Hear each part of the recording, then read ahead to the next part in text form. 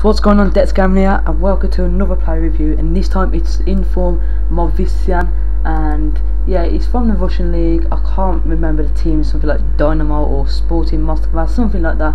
Um, but somebody did actually comment in one of my videos um, my Vampires video saying um, that it's pointless clips that I've shown but I thought that I'd show pointless clips because you can't just show all good clips in the play review. But now as you can see on screen are his in-game stats. Now his best stats was his finishing and his speed. Now these did actually help within these play reviews and also his um, strength was probably his best stat. As I'm going to show you a few clips um, I did actually have more goals but I accidentally deleted them off my computer. But as you see here he gets the ball nicely just a bit of skill carries on bang over the bar just about.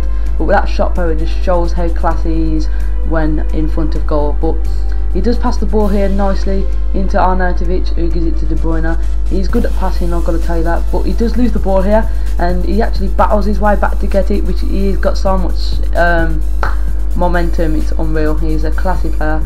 Look at that he loses it again and momentum just gets him the ball back there as you can see.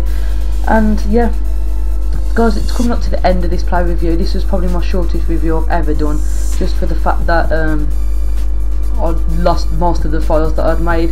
But here he actually scores a cracker and yeah this is going to finish it. So if you have enjoyed guys please subscribe like a comment and I apologise for not the not a lot of goals um, this will never happen again. So yeah please